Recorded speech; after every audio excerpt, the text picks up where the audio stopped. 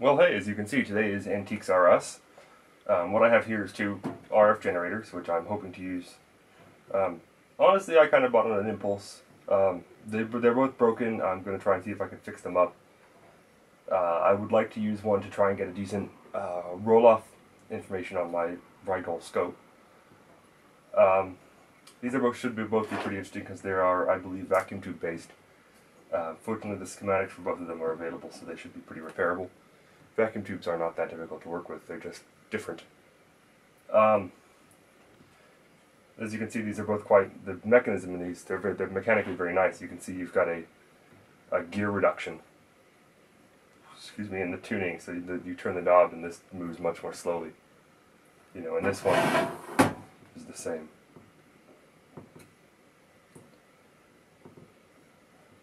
So both of these, you know, I'm not sure. I'm either turning a potentiometer or a varicap in there. But, uh, you know, one of the interesting things is, you know, you look at the output connector. It's this old style connector, which I actually don't know the specific name for. But, um, yeah, let's pop the lid off one of them and have a look.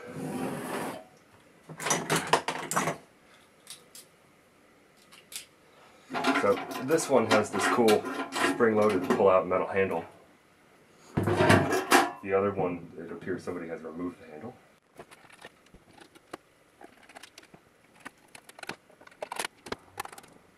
So one thing of interest on all of these is, um, if you look at them, so um, MC, MC, MC, KC, KC, so this is megacycles and kilocycles. And they're both done like that. And that's because um, the usage of hertz as a term for frequency um, is actually surprisingly recent. Um, we started using hertz, I think, sometime in the 60s or the 70s. And before that, it was megacycles and kilocycles and cycles per second, you know, instead of hertz. Um, the decision to use hertz as kind of a memorial thing for Mr. Hertz was fairly recent. Okay, so this one does indeed use a varicap. Let me. It also uses bog standard vacuum tube uh, construction, which is basically an interior chassis with a big hole in the back that the plug pulls through. This is, if you ever work on the old radios or anything like that, this is an extremely common building of piece of equipment. One of the things you often have to be careful of is um, an equipment like this, it's very common for the chassis to actually be electrically connected to neutral, um, which can be, you know, unsurprisingly quite dangerous. Um, in this context, you know, I don't know when these were made. That tends to be an early thing, like 30s-ish, I think. I don't know the dates precisely. But anyways, you can see here, we have two vacuum tubes, two transformers. So this is this is a 6C4, and from the look of it, this is a single triode. So a single triode basically means that you have the filament in the center, a single control grid, and the um, the cathode around it. So I may be getting some of the terms wrong. It's been a long time. It's been a few years since I've worked with vacuum tubes in any meaningful way. Um, so yeah, there's a little, yeah, there's a single triode. You can see it's got nice little sockets. These aren't high quality sockets, they're just uh, phenolic sockets. So over here we have a um, 12AT7, which looks to be a double triode. So you can see that this one, uh, basically because the expense involved in putting it, you know, in vacuum encapsulating it is the predominant thing.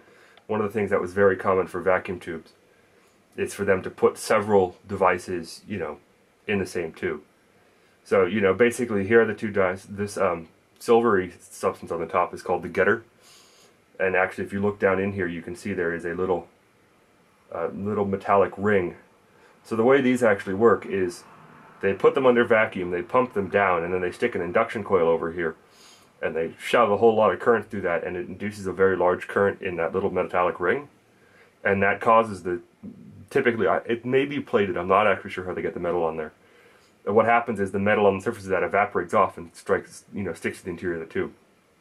So what this is, um, there's a number of different materials used for getters.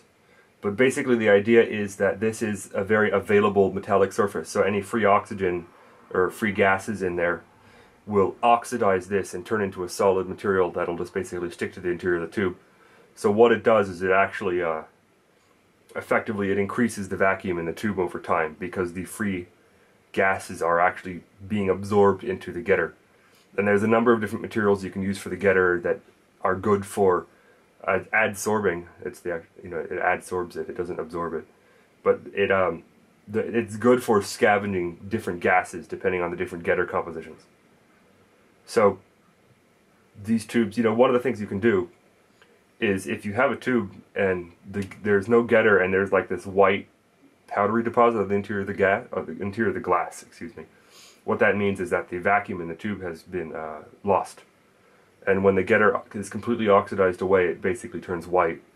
And one of the things you'll see in very old and or abused tubes is that the edges of it, which are the thinnest areas, the edges of the getter will slowly will be white and it'll kind of slowly shrink as the tube is effectively used up. And that's actually one way to determine, you know, if a tube has gone bad. Right. So here we can see the the whole assembly. One of the interesting things I see here is that the where is the gear reduction? It appears it's entirely in the knob. That's, That's actually so one of the nice things is, hey look, the set screw is slotted. No Allen key. Okay, now, so here's our drive, and you can see there's probably like a, um, a, a, bearing reducer in there somewhere, which is a common way of, you know, it's a common, very compact way of, yeah, it uses bearings. So basically the idea is, if you think of a ball bearing, you have the outer race, you have the balls in the middle, and then you have the inner race. And if you fix the inner race, you know, like in most situations, and you spin the outer race, the, the bearings will rotate at about half of the speed because, again, they're rolling around the interior. So one of the common things they do is they actually just use like the, the bearing retainer as the takeoff. So it's a very small, compact, and it has some slip way to basically give you a inexpensive gear reduction. And that's pretty common in older electronics. So, let's just look down here. So what we have, oh, interesting. It looks like somebody's, excuse me, it looks like somebody's done a once-over on this. Um, so a lot of old electronics are basically pretty well renowned for uh, failing when you look away because they used uh, wax-invested paper caps. And they were incredibly, you know, basically moisture would get in there and they would fail. You know, and it looks like someone has actually gone in here and recapped this generator because that's 47 that's 47 puff you know because I don't see any paper capacitors I see all ceramic and this very old electrolytic which may actually be what has failed uh, these were both this one was I think advertised it turns on but somebody's making something in there I think this one was advertised it turns on but does not uh, produce an output um, saying um again. So what we have up here, this is 0.1 microfarad, 400 volt DC. That looks like a film cap from the packaging. Um, you know, this is very common construction. Um, this was probably a kit, actually. So somebody assembled this. But this style of construction is extremely common in vacuum tube equipment, where basically most of the components are literally hanging off of the tube sockets and wired you know, you can see here we have a whole bunch of different inductors, uh, presumably for the different frequency ranges. You know, down here, I think, I think that's a selenium rectifier. Um, so that little box, I'm not sure, I think it's a rectifier. So one of the things you can see is the power comes in here, goes to this circuit this little junction thing right here. Uh, runs through that, goes to the back of this, and this, this is the switch. So this is a pot with a switch on it. And then it runs into this transformer. So that tells us one thing, that this is entirely floating because the power comes in, is switched with some capacitors across it, probably to reduce arcing in the switch. and then run straight into a capacitor. And that's very excellent because that means that we can probe everything downstream of this transformer safely because it's floating due to the fact that it's on a transformer. If this was, you know, if this if it didn't have this transformer, we wouldn't be able to do that. So what we have here is we have, you can probably look down here, this transformer has two output windings. So one of these is going to be for the tube filament. So let me see if I can Okay, so that goes through that bulb.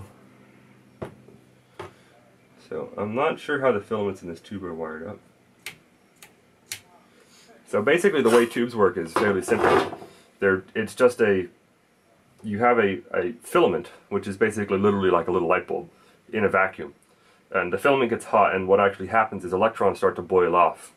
And literally they form an electron cloud around the filament. And if you have a, you know, and so in this vacuum, you have a filament here, and if you have an electrode over here, and that's positively charged, because remember, electrons flow from negative to positive. If that is positively charged, that will draw the electrons to it.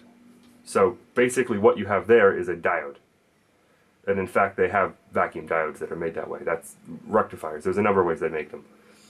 Uh, so then what happens is, if you put a metal mesh in the middle, and that metal mesh is floating or, you know, charged towards, you know, charge the same charge as the, you know, basically the metal, the electrode, the electrons can pass right through it. But if you charge that negatively, it will repel the cloud of electrons, and then you can't get any flow to the electrode.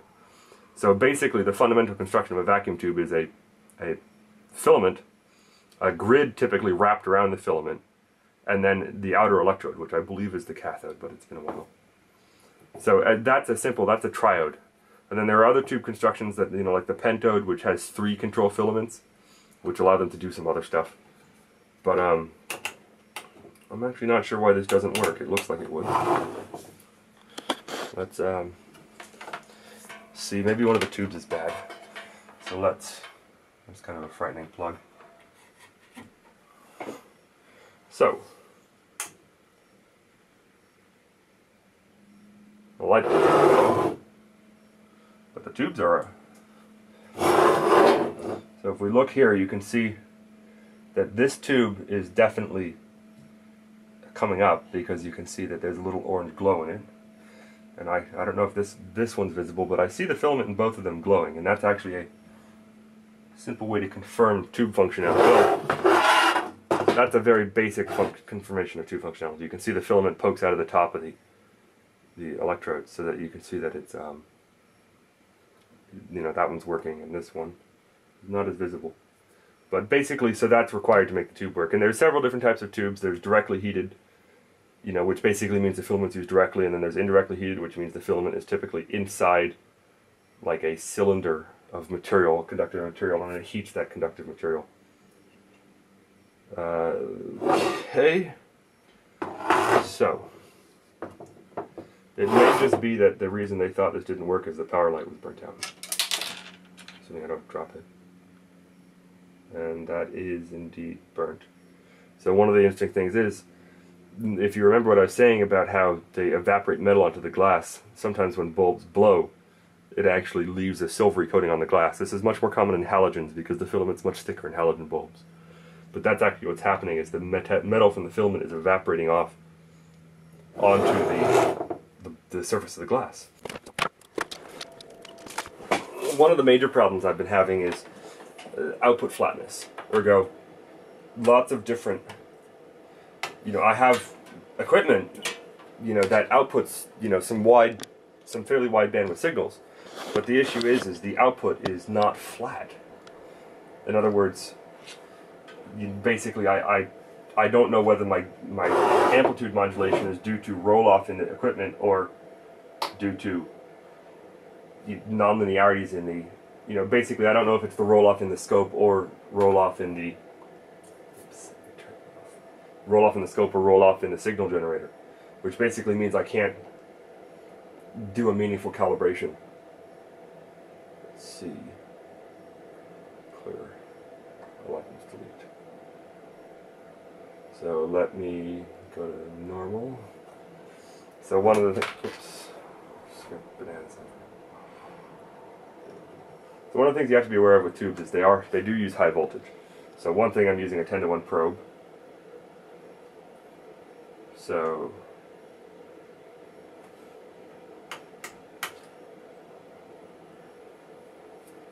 that is just garbage. Oh wait, no, I'm getting something.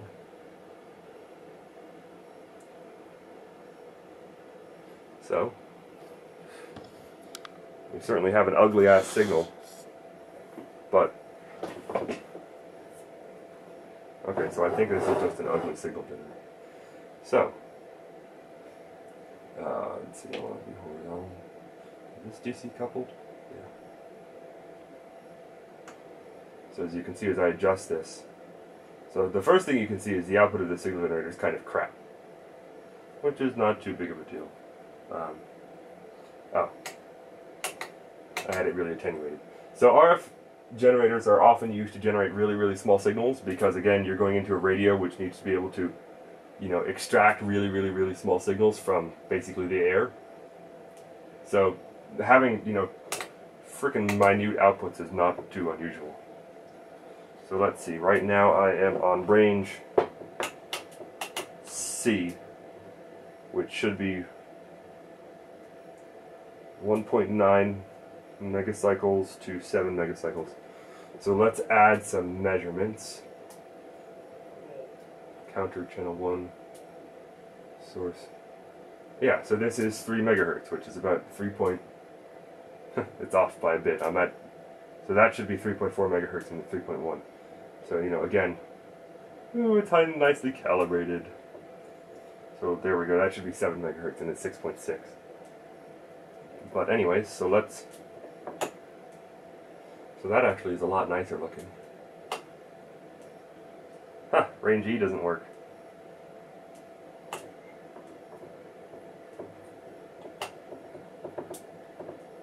that just made a snapping noise.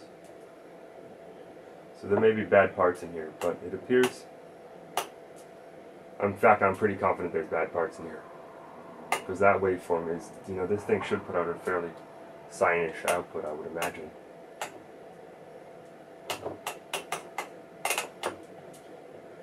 So fortunately with a lot of these old electronics, it's uh, entirely possible to, the schematics are freely available because again most of them were sold as kits.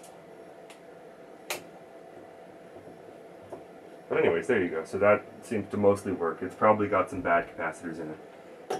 Uh, there may be some regulation issues. I have to hold the power button for a second.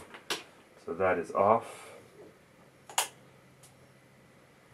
So we will put aside and let's look inside the other one.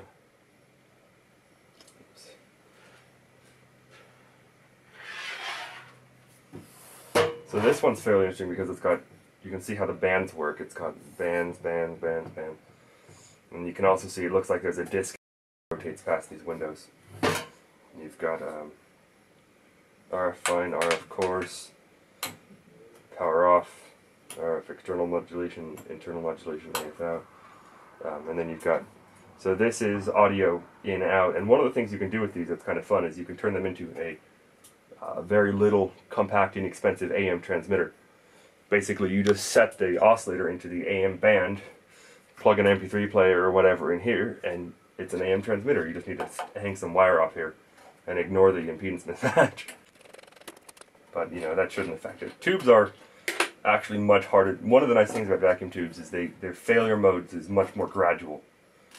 Uh, they don't tend to catastrophically fail as transistors do. They tend to take a little while. You know, basically they will actually they will start glowing. You know, cherry and cherry red, and you know it. The, their failure mode is much more gradual and often if you're being attentive, you know, it'll take them a couple minutes to fail. And typically what happens with the tube when it fails is it gets extremely hot and gases start to boil out of the metal in the tube.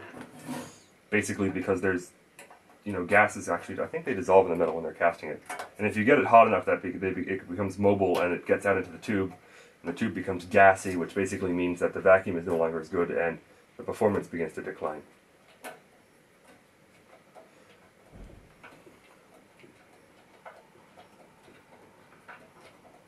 But there's no.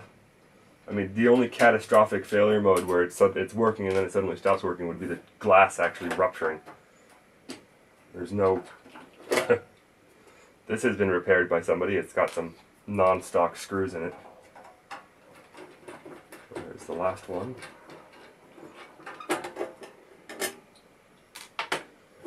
So, this one has a big varicap too. And two tubes, and Eico branded tubes. That's interesting.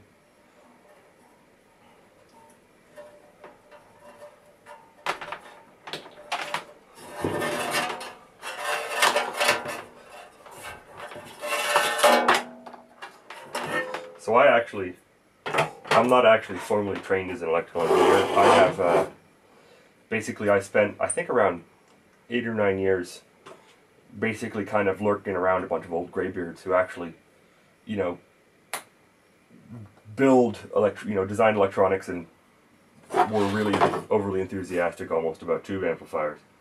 And that's actually how I picked up most of what I know. So I'm a little, you know, some of the the math, the math fundamentals and so forth that underpin, I'm a little bit inexperienced in. I can typically, you know, that's a little bit. I can whatever it is, I can generally look it up if I need to.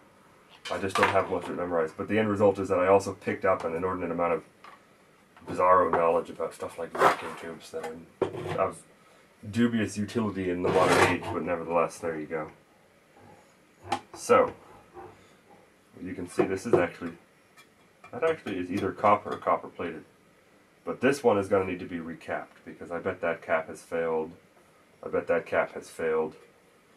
Um, so these are, there. it's a, um, basically met, metal foil and paper capacitor, and then they, they dip it in wax to seal it. And unsurprisingly, for something using wax, the sealing is typically crap and fails. So you can actually see this is fairly interesting. This is a three leaded capacitor. And what that is, is that's actually two separate capacitors in the same package. That's actually fairly common for bypass caps of the era, where you know basically they'd need some bypass caps, and you can just buy a like a bypass cap in a box that has all of your various capacitance you needed. So these, one thing of note for all of these is that the filament on these tubes is all done using AC. In other words, there's just a winding on the transformer. See if I can't see. Oh, I see. So you actually, one of the things you notice here is that two of the outputs of the transformers, one from the yellow winding and one from the red winding, just go into this terminal of this capacitor, which actually is connected across to the line. I don't know why they're doing that. Um, and then this terminal of this terminal strip is actually just connected to the chassis. So the chassis forms one of the connections for nearly everything in here. You can see how these terminate to the chassis. You know, this terminates to the chassis. Let's see, I don't see any chassis terminations up here. But basically, the chassis of this is used as one of the conductors to reduce the wiring. But uh, in other words, sorry, I got off track. The basically one of the terminals of the transformer is just stuck directly on the tubes. That means they're um, they're AC filament, and that's fairly common. It's not really that big of a problem. Uh, you'll see some, you know, audiophile people complaining and wanting to use uh, rectified and smooth DC for the the um, filament, which is of dubious efficacy, but it's something people do. So I think this, yeah, that's almost definitely a diode, or or a, it's probably actually a selenium rectifier, just a potted selenium rectifier. That's actually fairly interesting. I haven't seen that type of rectif- selenium rectifier before, but that should be possible. So you know, this is obviously it's half wave rectified, and we can guess from the fact that this wire is leading to here, that this is probably a this is going to be the high voltage winding, and this is going to be the uh, filament. So one thing we could do that would probably be of interest is let me figure out where my mul- there it is. I have not got enough space. So we can take my meter. Let's see, this is definitely off. So you can see the meter, so what I'm going to do is I'm going to turn it on, and the power light has come on. And then I am going to look here. So you can see our high voltage is hmm, dropping. So we should actually, um, let's go to AC and look here. So we have 134.9 volts AC. So actually that means that this reading here, that's actually fairly good. And one of the things you probably actually saw is that it was originally 150 volts. So I suspect what's happening is that this was basically entirely unloaded. And then as the filaments begin to warm up, the tubes begin to become conductive and the circuit effectively begins to work and the voltage dropped. So I would guess that that's probably why that that that um, that sagged down like that. Though that's just me talking out of my uh, my guesstimator. You can try and guess where that is anatomically. So, ooh, something on here smells like it's getting hot. Oh, it's the bulb, of course. So one of the nice things is you can see this one has this little bit of plexiglass, and it's it's side illuminated so that the whole gauge kind of lights up. It's very, you know, it's a nice little touch. So all of these, as you can see, use a um, a variable capacitor for their signal tuning. You can see, you know, typical VariCap construction, two sections of metal plates that intermesh, and that basically changes the capacitance. And then they've got little bits of phenolic to hold them steady.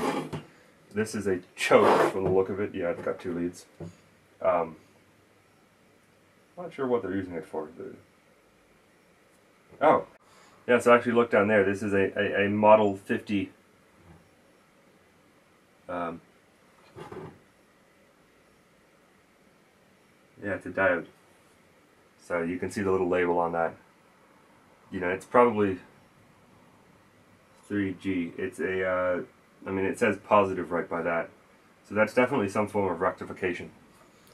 I can get that in closer. So you can see that little nameplate on there. I'm not sure. That may be a solid, that may be a really, really, really early solid state diode. Let's see if I'm getting any output from this one. So one of the things I'm worried about is, again, you know, I have 200 volts in here. So you have to be a little careful. Um, times 10 probe should make that more or less safe, I would think. Uh, you always want to connect your ground first. You got to be careful you don't stick your finger in the AC. Uh,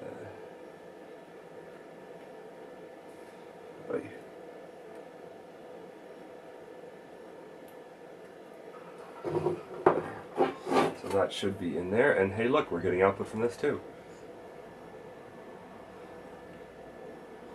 So this is again kind of rather ghastly looking, but this one appears to work too. So I don't know what the, the eBay seller I bought this from who claimed the guy I bought this from said it didn't work. So, you know, I think they both have some problems, but, you know, so let's, oh hey, that looks pretty good. So now we're, we're at, uh,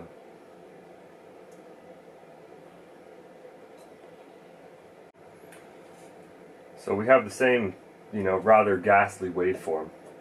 So I, I, think there are some bad capacitors in both of these. We'll have to see. i am not going to fix those on the screen.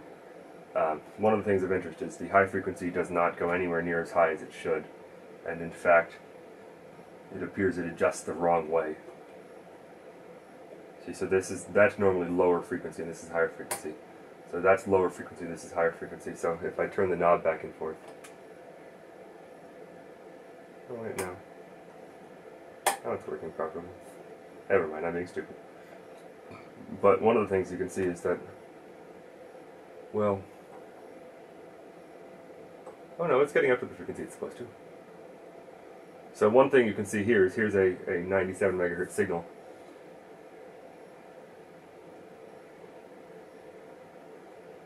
You know, so we start to, you can see it, it rolls off right around there and I'm not sure if that's in the scope or not. But above that, you know, there's some amplitude wobble. and it actually starts to tank off. But yeah, you can start to see, you can see that the scope is you know it's responsive to well into you know there's 125 megahertz. So this is a 100 megahertz scope, and actually I've you can see waveforms that go up to a gigahertz with this scope. Amazingly enough, you have to be careful though. You have to be in the 4 gig samples per second to do that. Uh, they're really attenuated, but it seems like the roll off in the scope is not a uh, it's not a low pass filter. It's merely a gain roll off in the input stage. So you know, as long as you're willing to accept fairly small signal amplitudes, the scope will basically go up to the Nyquist of the signal. You know, again, you, you have trouble seeing a clear a waveform with uh, two sample points per waveform at a gigahertz. But with four samples per waveform, you can make out an, an acceptable sine, which is pretty freaking impressive. And the frequency counter and everything works up to 500 to a gigahertz too, or 940 megahertz. It's pretty crazy. Um, but yeah, this is about what I was expecting. You know, I mean, there's a lot of amplitude wobble. But you can see that there's no real meaningful roll-off. You know, you can see that little drop-off there is, I think, probably the generator. And the other thing you can see is that this is a, um, a really ugly waveform. You can see with the intensity grading, which I love. So awesome you know, toys, you know, compared to some of the older scope I had, it's oh so nice. Anyways, so aside from my waffling alone, so I am confused because the guy who sold me these said neither of them worked, and they both work. One of them just seems to have a bad power LED. Um, it's distinctly possible that it came with this output cable, and it's possible that this output cable has a break in the cable, and that's what they're using to test it. um, that would be uh, kind of tragilarious, to be honest. Um, I don't know what to say about that. um, you know, again, funky ass old output connectors. I'll probably, I'd actually, what I'll probably do is I'll probably replace the outputs with BNCs, because fuck all this old shit. Uh, anyways, so you can see there's a lot of amplitude variation, and what the deuce is that? Um, this may perform a lot better if I put it in the case. Um, I don't, I'm waving my hand around the circuit and it doesn't seem like that, a little tiny bit of stray capacitance has a mean too much of an issue. Um, you can also see that the top band is rolled off. So one thing is this has two F bands. It has 37 to 145 megacycles and it has 110 megacycles to a 435 megacycle and I don't know how to go from F1 to F2. Uh, I'm going to need to find the docs, I guess.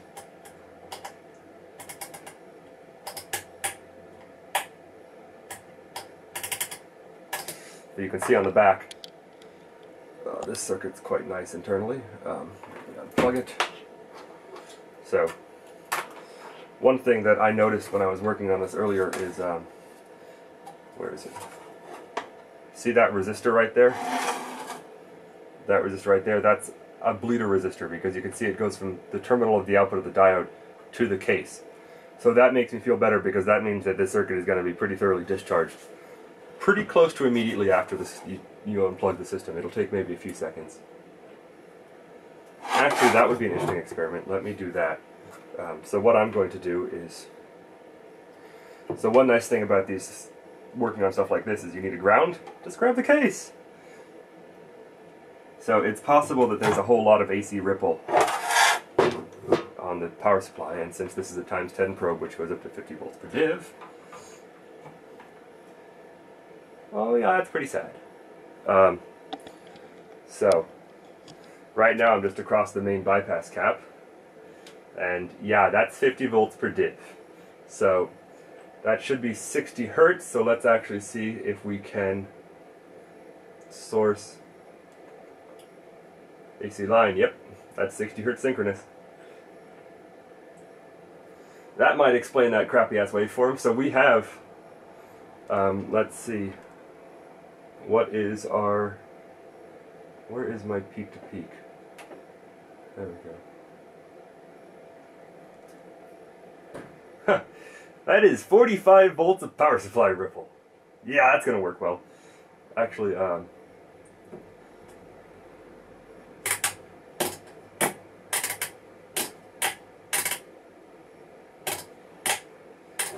yeah, so that may be part of the problem. So, oh wait, I'm on, no, I'm on the output of the diode, actually. That's slightly less. I'm not too sure how this capacitor works because it looks like um, eh, is that a bleeder resistor? No, it's not a bleeder resistor. Okay, I'm not sure what's going on. It appears the connect capacitor is connected across this resistor. Oh! I think it's a CRC filter. So it's a capacitor, a resistor, and a capacitor. So I think this is the output of that filter, which is only 35 volts of supply ripples only. Um, but one of the things we can do is we can go into, let's go to DC. So you can see that we have a, um, pretty considerable offset. Um, let's see, the average. So we have a 115 volts roughly, which means that this may just be a one-to-one -one transformer with a 38 volts of ripple on it. so that, um, that's pretty horrible, and I bet that's what's causing that amplitude variation in the output. Uh, I think this thing is probably referenced to its, its high voltage rail pretty directly, and I suspect that basically what we're seeing is as the power supply voltage varies, the output voltage peak to peak varies, and that's probably why we're getting that great big modulation in output amplitude. But that's easy enough to fix. I just need to find some 200 volt caps, which I don't have on hand. Anyways, so you can see that's the power supply discharging down, and that doesn't take too long.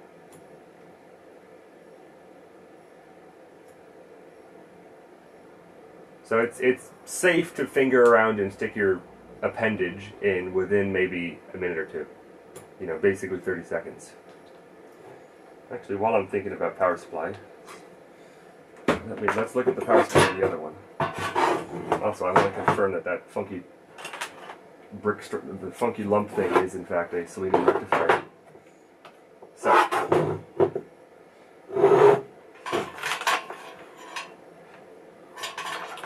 so you know, again, this is um, probably not the safest thing I've ever done.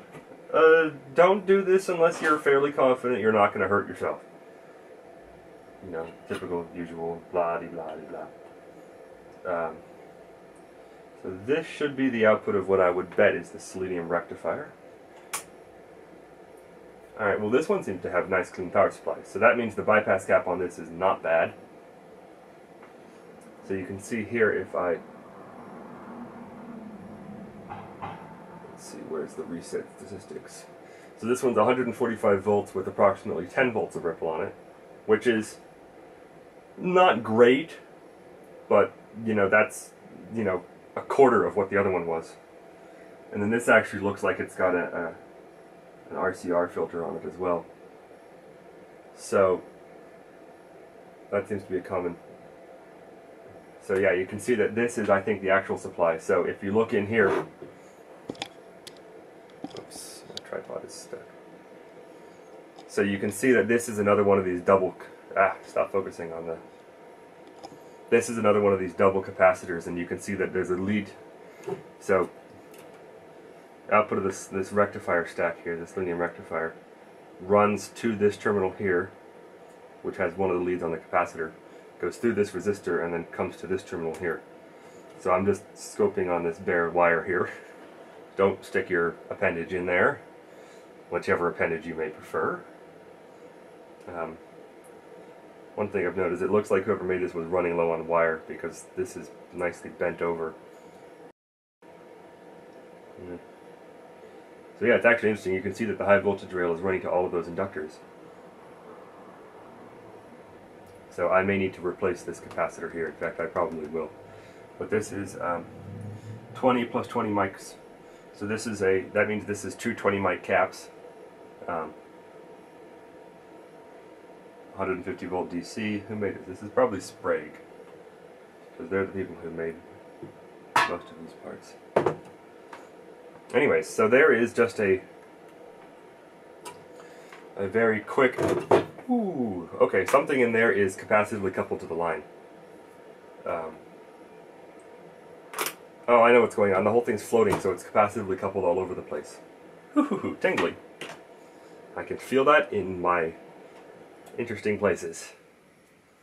So yeah, um, don't do this if you have an arrhythmia. um, yeah, so I'll probably put three terminal power leads on these because that's um, a little frightening. One thing I've noticed that uh, typically when something's really bad, when you have really bad capacitive coupling, you'll actually see a spark when you go to connect your ground lead, in which case that's kind of a good notification to you to, you know, do something, be careful.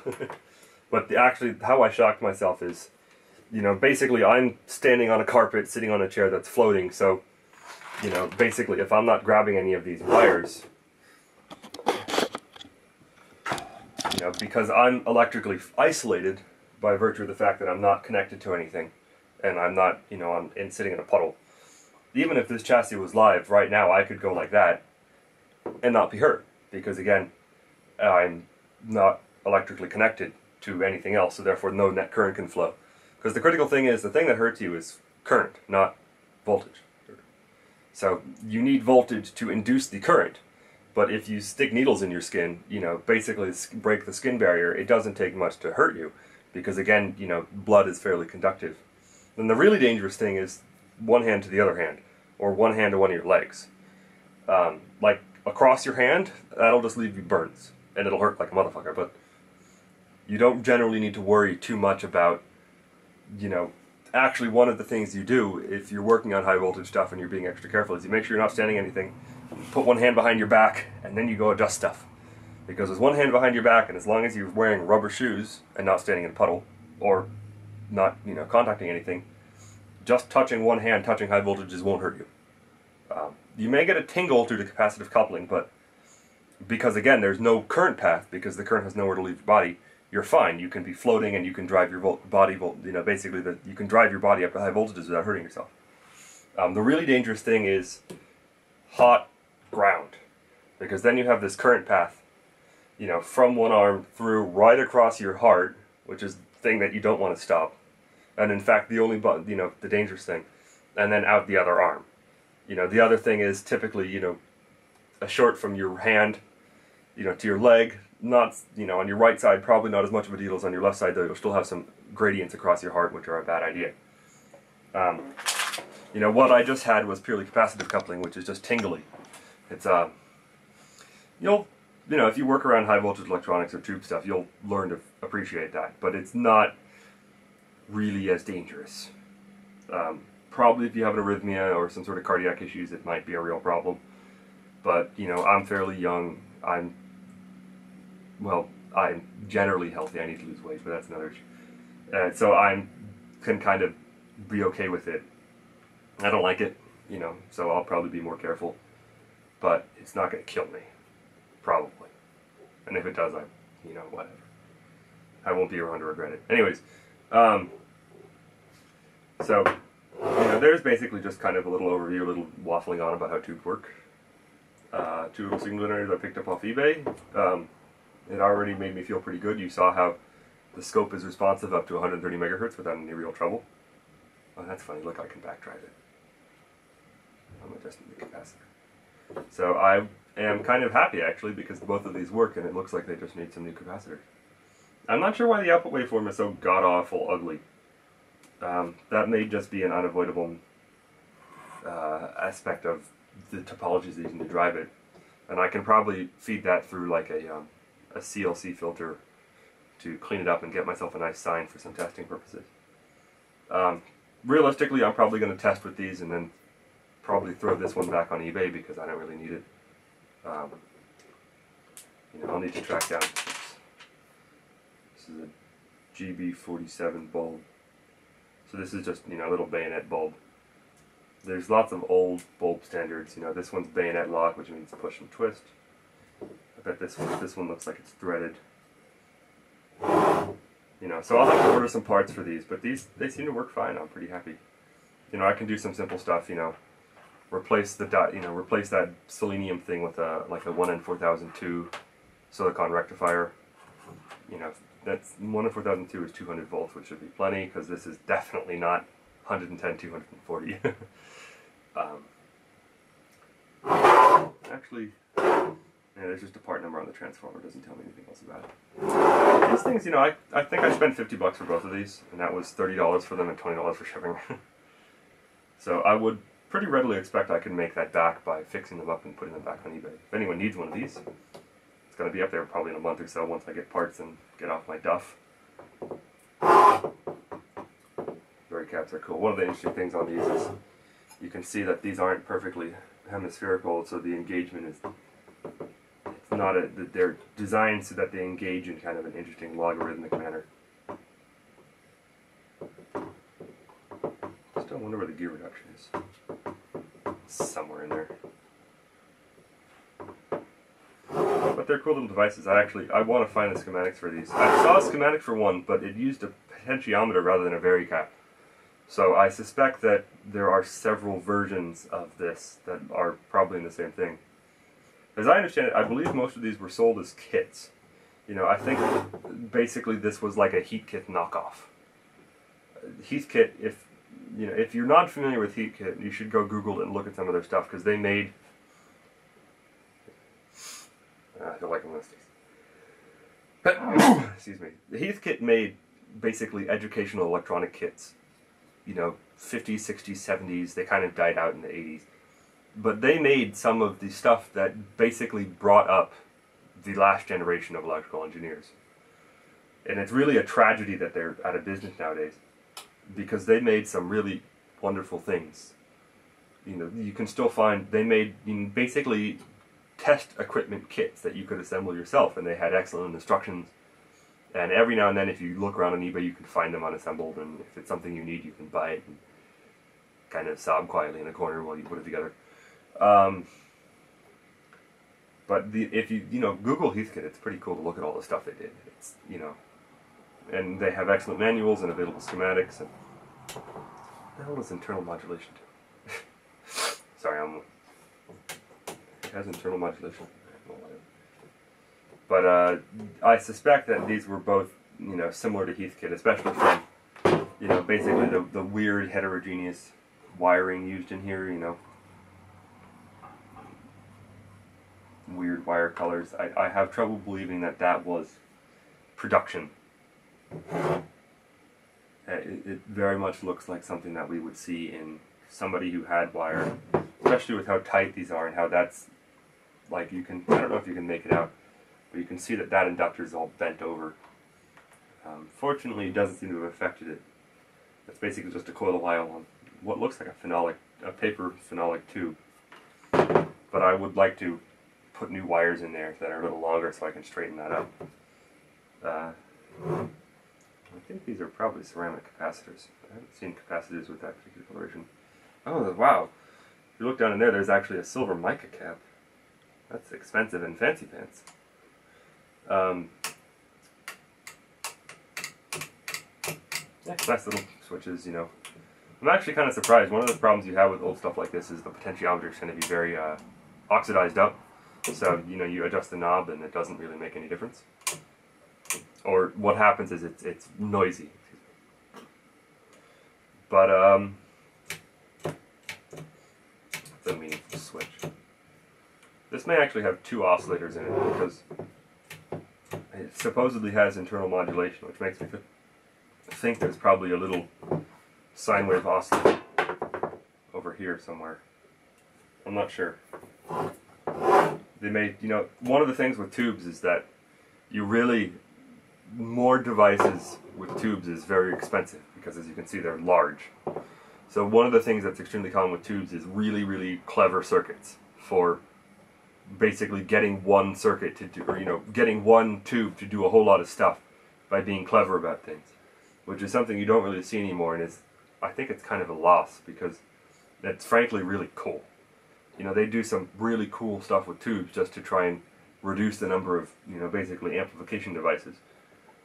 And it's it's a approach to electronics that I think should be, if not necessarily aggressively practiced, I think people should have to think about it. Just because you know you often with simpler, uh, electrically simpler, you know, designs.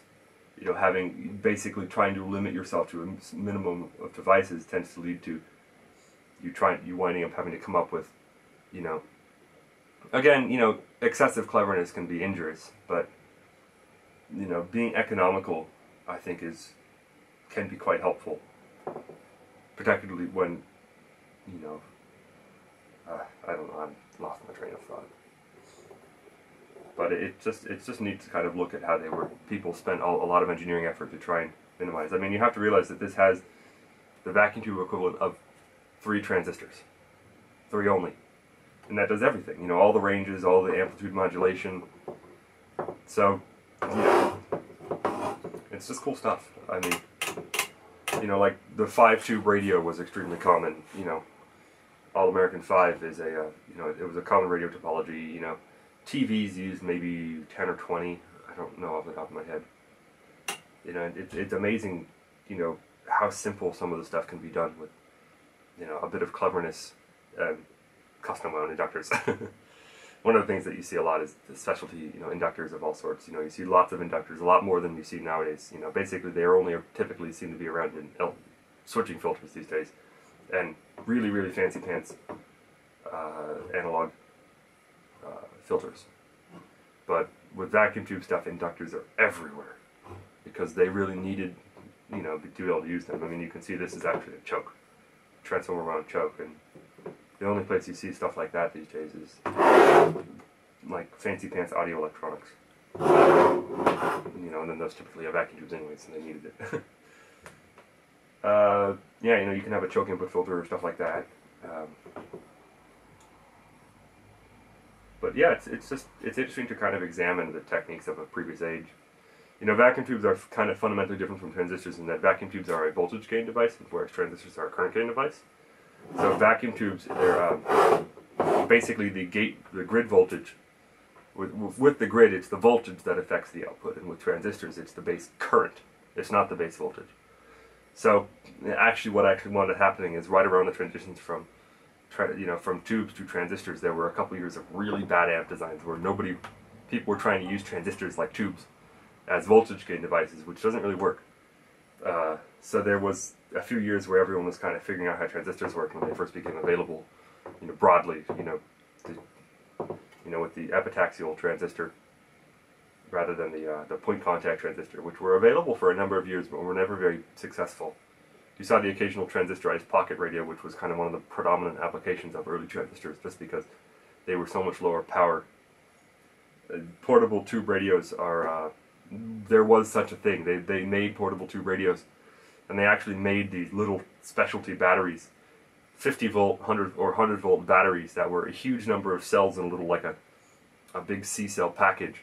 And they probably were you know 10 or 20 milliamp hours but the high voltages in these things need so little power or excuse me so little current that it ran fine. So you'd actually have a like a tube radio a portable tube radio that took a 50 volt or 100 volt battery and a 6 volt battery and the 6 volt battery ran all the filaments and the 50 volt battery ran everything else uh, and then, you know, they'd use an output transformer to shift the high voltage, low current output of the, you know, all the electronics out into, you know, like an 8 ohm speaker load. Uh, output transformers are something that are also very common on tube electronics, you know, or at least tube amplifiers, which are the area of tube electronics with which I am the most common, excuse me, most familiar. But it's cool stuff to look at, you know. Frankly, I think tubes are just freaking cool. Look at, you know, I mean, all the blown glass and the fact that they glow. I mean, who doesn't want their electronics to like light up and glow orange when it's running? I mean, that's like I don't know. Maybe I watch too much Star Trek, but I think electronics should have flashing lights and indicators everywhere. And tubes seem to be much more satisfying in that respect than than transistors, which just kind of sit there and amplify without looking like they're doing anything interesting. Yeah, anyways, cool. Hope you found that interesting.